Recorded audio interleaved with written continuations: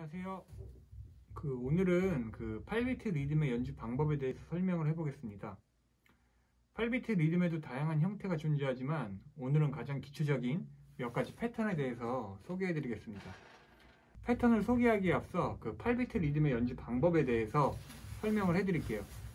그 8비트 리듬은 그 한마디 안에 8분음표 8개를 오른손이 하이햇으로 1, N, 2, N, 3, N, 4, N이라는 카운트를 붙여서 연주를 합니다. 보여드릴게요.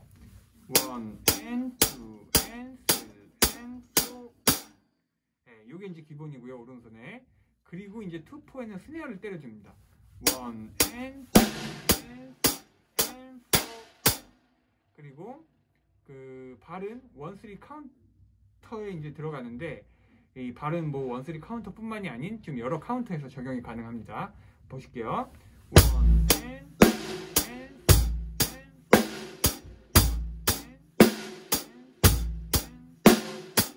네, 이렇게 적용이 가능합니다. 자, 그럼 이제 실제로 연주를 하면서 보여드릴게요. 자, 첫 번째 패턴입니다. 자, one과 3의 발 베이스가 들어가 있는 패턴이고요. 자, 연주해 보도록 하겠습니다. 먼저 오른손으로 카운터를 세면서 하이햇을 쳐주세요. one, and, two, and, three, and, four, and.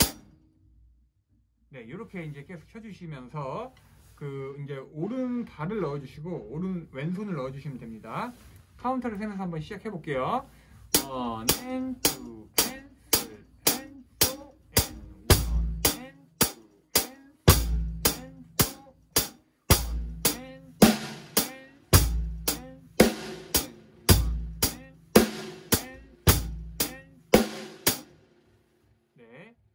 이제 두 번째 패턴입니다. 자, 원과 3N의 발 베이스가 들어가 있는 패턴이고요. 자, 연주해 보도록 하겠습니다. 기존과 그 같은 방법으로 연주를 해볼게요. one, and, two, and,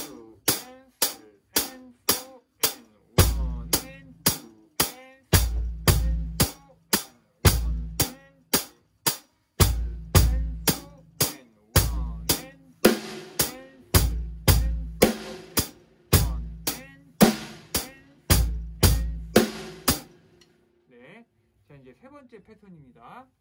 자, 원하고 N쓸, 2N의 N과 3의 이제 발 베이스가 들어가 있는 패턴입니다. 자, 연주해 보도록 할게요. 원, N, 2,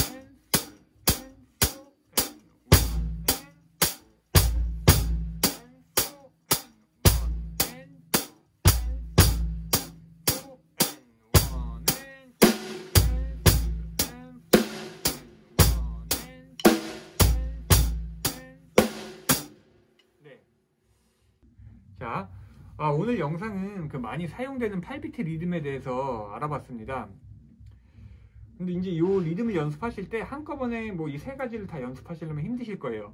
그래서 어, 제가 알려드린 대로 그 오른손을 먼저 계속 그 입으로 카운터를 세시면서 먼저 오른손을 연주를 해주시고 거기에 오른발이나 왼손을 끼워 맞춘다고 생각을 해주시면 조금 편하게 연습을 하실 수 있을 겁니다. 네. 그리고 다음 영상에는 더 다양한 8비트 패턴하고 또 하이의 그룹에 대해서 저희가 한번 알아보도록 하겠습니다. 그럼 모두 열연하시고 수고하셨습니다.